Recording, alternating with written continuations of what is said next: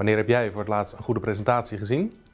Waarschijnlijk vond je de presentatie goed omdat het verhaal duidelijk was, er een goede lijn in zat en de presentator rustig en duidelijk stond te vertellen, waardoor je gegrepen bent door zijn verhaal.